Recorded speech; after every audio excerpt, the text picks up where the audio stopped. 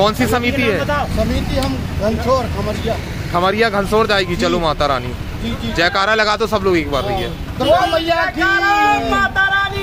जय।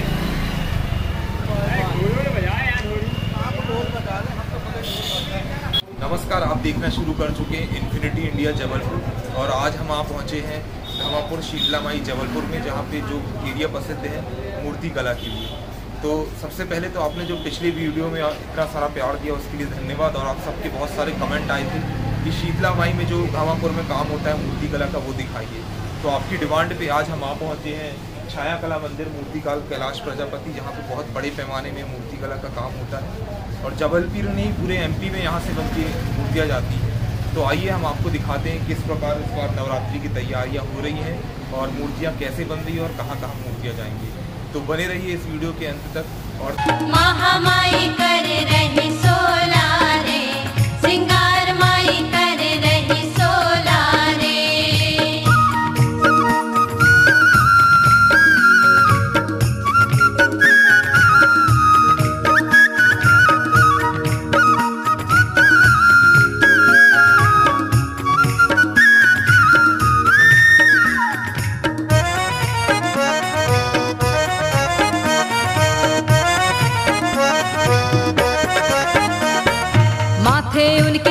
बिंदिया सोहे टिकली की बलिहारी राम। माथे उनके बिंदिया सोहे टिकली की बलिहारी राम। माथे उनके बिंदिया और हमारे साथ जुड़ गए हैं चंचल भैया। चंचल भैया बताइए इस बार कैसी तैयारियाँ चल रही हैं नवरात्रि की? बस काम तो एकदम लॉकडाउन के उपरांत बहुत कम है मतलब फिफ्टी परसेंट के जी। लगभग काम। बस चल रहा है तैयारी है। नहीं उसके बाद भी हम लोगों को देखकर बहुत अच्छा लग रहा है कि इस बार ऐसी उम्मीद करते हैं कि जबलपुर संस्कारधानी जैसा फ़ेमस है दशहरा के लिए। इस बार देखने मिलेगा भैया। वो प्रशासन के ऊपर है प्रशासन के ऊपर पूरा छोड़ दीजिए। जी।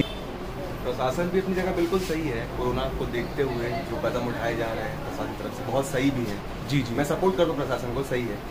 और इस बार सुनने में भी आ रहा है कि शहर में शायद चल समारोह नहीं निकलेंगे इस साल। जी जी।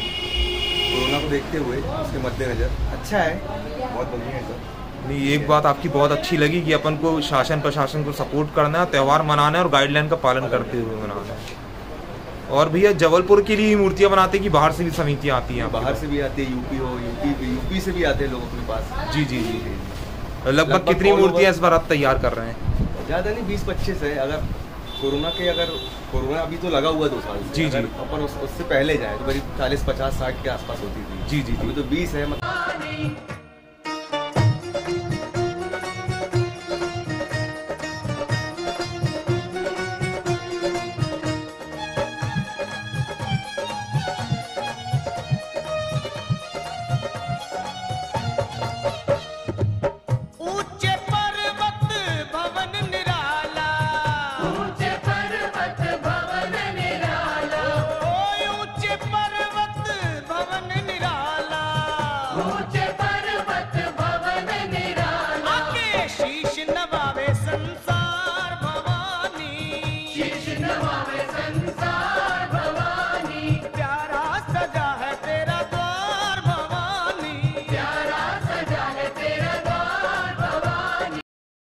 कौन सी समिति से आए आप लोग। मैं भैया समिति धूमा। कहाँ से? धूमा से? धूमा से ये देखिए जबलपुर के बाहर धूमा भी धूमा भी यहाँ से मूर्तियाँ जाती है। कितने वर्षों से रख रहे हैं भैया प्रतिमा? करीब करीब दस से पंद्रह वर्ष हो गए तो कैसे लेकर जाएँगे भैया यहाँ से? यहाँ से वाई गाड़ी से अच्छा। पिकअप लाते हैं हम लोग। जी जी। जी। बहुत बढ़िया भैया।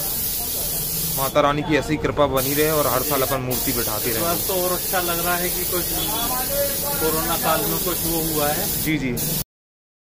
खेतर बीज के माँ की जोत जगाओ पहले नौराते खेतर बीज के माँ की जोत जगाओ।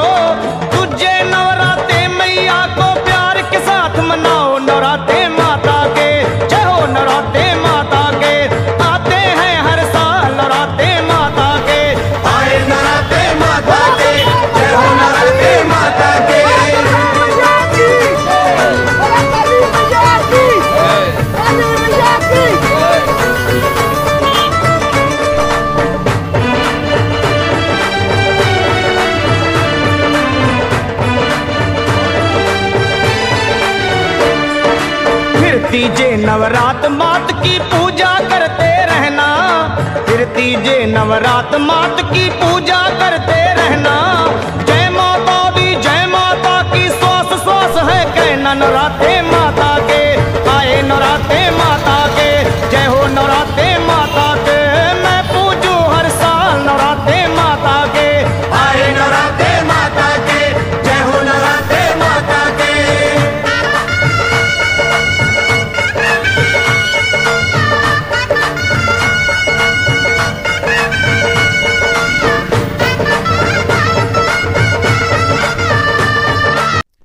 thanks for watching this video अगर आपको यह वीडियो अच्छा लगा तो इस वीडियो को लाइक कर दीजिए और शेयर कर दीजिए और चैनल को सब्सक्राइब करना ना भूलें। अगर इस वीडियो से जुड़े हुए आपके कोई सुझाव या फिर कोई सजेशंस हैं तो आप कमेंट बॉक्स में कमेंट भी कर सकते हैं। Thank you very much